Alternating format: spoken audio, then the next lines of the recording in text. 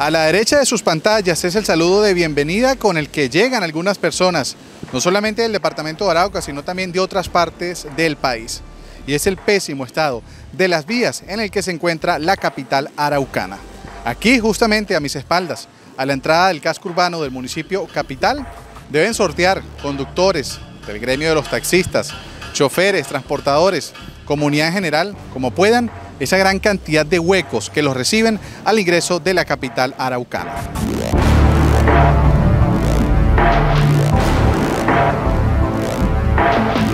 Los huecos que hay en las vías hay que tener mucho cuidado, sobre todo hago un llamado a la administración municipal porque un hueco en una vía donde una persona tenga un accidente por causa de un hueco, eso, es, eso amerita una demanda contra el Estado por fallas en el servicio, que eso es como darle un tiro al piso.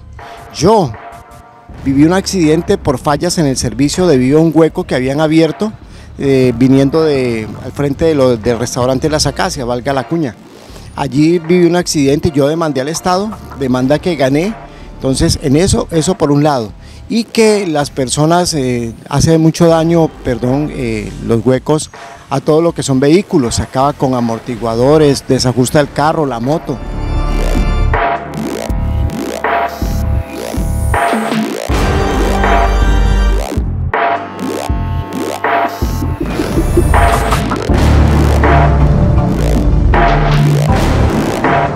Nosotros como agremiación desde el 2 de marzo del 2022 le pasamos una petición al señor alcalde junto con los secretarios de 16 problemáticas, 16 problemáticas.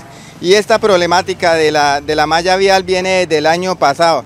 Desde el año pasado hemos venido gestionando o exigiendo un proyecto por 700 millones de pesos para el reparcheo. Es para el reparcheo y arreglo de rejillas y estas son las alturas de la vida que no han sido capaces de aprobarlo. Unos dicen que son los concejales, otros dicen que es el alcalde y otros dicen que es la Secretaría de Infraestructura. Entonces el uno se tira la pelota al uno y ahí nos tienen embolatados hace año y medio.